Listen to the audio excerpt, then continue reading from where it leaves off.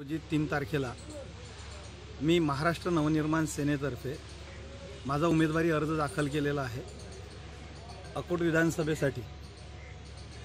आणि अकोट विधानसभेसाठी हा अर्ज दाखल करत असताना आज इथल्या स्थानिक गोष्टी जर लक्षात घेतल्या आणि स्थानिक आमदाराचा जर रोष बघितला त्याच्या विरोधातला त्याच्या कार्याचा तर माझ्या दृष्टीनं महाराष्ट्रामध्ये म्हणता येईल किंवा माझ्या पाहण्यामध्ये म्हणता येईल की हे एक पहिली असे लोकप्रतिनिधी आहेत की ज्यांना तेल्हारा तालुक्यामधल्या जवळपास चाळीस गावांमध्ये गावबंदी आहे.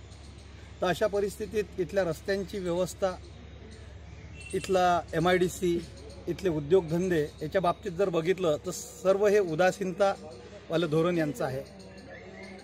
महाराष्ट्र नवनिर्माण सेना हा जो राजसाहेबांचा पक्ष आहे यांचं धोरणच आहे की नवनिर्माण.